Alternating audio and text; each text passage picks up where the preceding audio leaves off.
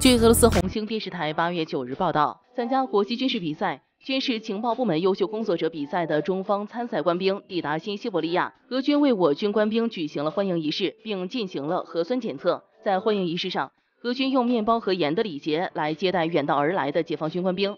据悉，在斯拉夫人的传统文化中，面包和盐是最隆重的一种礼节，用来欢迎重要、尊敬和钦佩的客人。И вы тоже попробуйте. Окей, окей.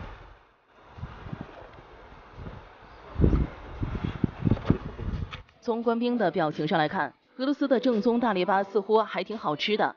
面包和盐的礼节结束后，俄罗斯军乐队还演奏了中国国歌和俄罗斯国歌。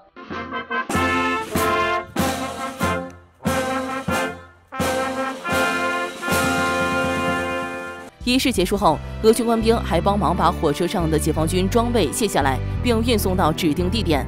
据悉，国际军事比赛、军事情报部门优秀工作者比赛将于八月二十二日至九月四日在新西伯利亚举行。除中国外，来自俄罗斯、白俄罗斯、乌兹别克斯坦和印度的军事人员也将参赛。